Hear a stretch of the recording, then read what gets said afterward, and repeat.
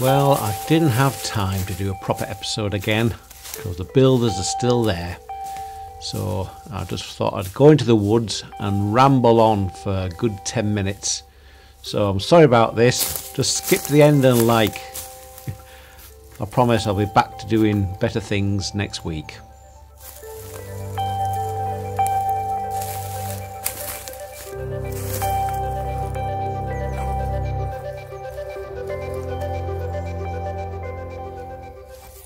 Today I'm here to promote my new book on composition.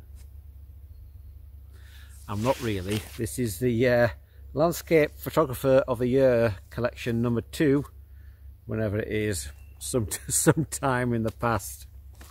I'm talking about how to train your eye to take good photographs. There's a lot of rules and things like rule of thirds, the golden mean, but like anybody who reads a lot, after a while, they can recognize good, well, if you read a lot of good novels, you can recognize good writing and good grammar and how the structure is put together of that novel. Even a painting, if you look at a lot of artwork of good artists, you can see how that eventually you've got to get an instinctive feeling of how these images are put together. And it's the same with photography. So my advice is to if you're interested in winning competitions just look at lots and lots of books of comp competition winning images. Study them.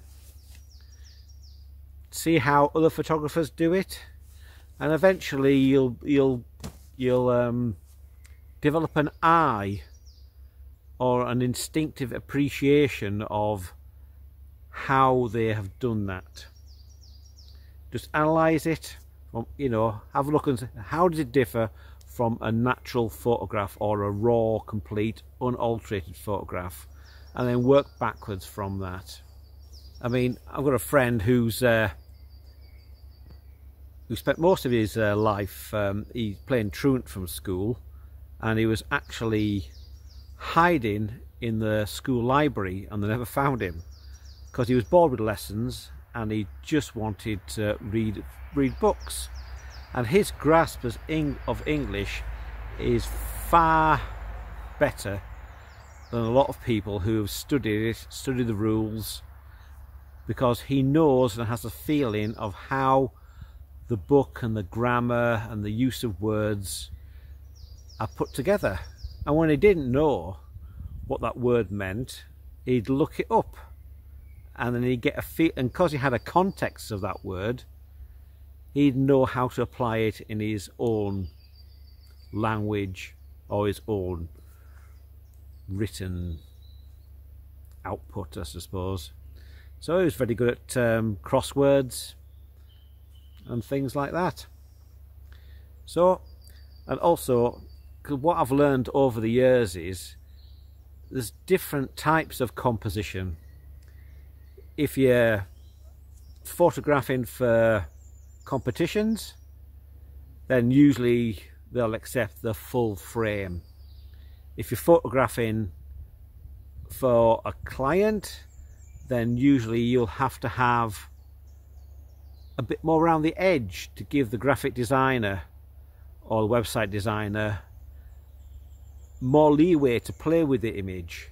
See, I sometimes shoot for stock and I've learned to leave a 10%, what was it gone? Margin, get it in the frame, down the outside of the frame and the bottom. And also shoot it, always shoot it slightly wider. And sometimes other elements come into that, so you'll have to delete them or clone them out.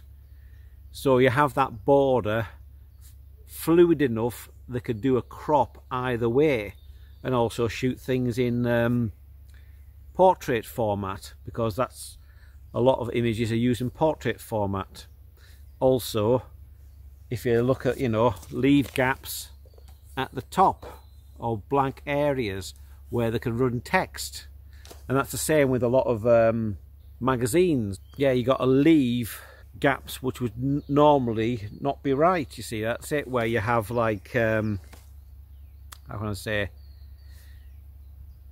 you have gaps on the right hand side where they can run text down or the left hand side if they run like on magazines where they list different articles because don't forget we read everything from left to right. Unless you're in Japan or Chinese where they read it right to left. So if you're shooting and you want your pictures to appear in magazines or newspapers you know things like the Guardian over here in the UK quite often they're, they're like a lot of negative space like this here where they can run text over it or huge areas of sky or plain backgrounds we can also also think about colour people tend to prefer warm tones you know, cool blue textures and greys look cold and unappealing. But people like that warm golden light. And I remember years and years ago, there was um, a guy who used to produce a lot of stuff for poster manufacturers. And he made sure always that the, the foreground was slightly warmer in colour temperature than the background because he says warmer pictures sell unless you, you sell into uh, interior designers and if they've got a blue or grey scheme they'll want something either neutral or cooler in the outlook.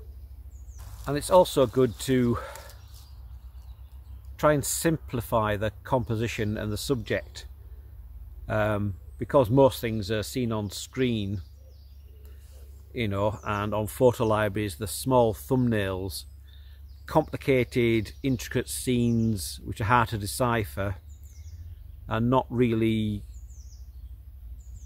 you know, they don't stand out. You want to look at that and say, oh, that's a mountain and a lake, and that's a simple scene. Whereas anything really intricate doesn't really sort of stand out.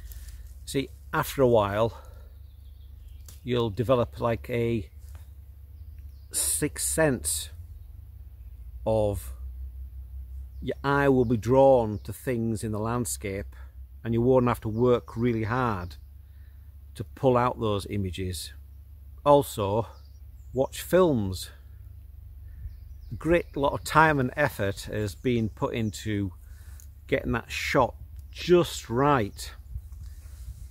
Look at the coloration of how the movie is set like in the in the Matrix movies, that slight weirdy green tinge to, to denote when you're in the Matrix, which is you sort of didn't really notice at first, but it's only contrast by when the character Neo gets out of the Matrix, and there's a contrast between that world, the world of artificial intelligence, and the real world.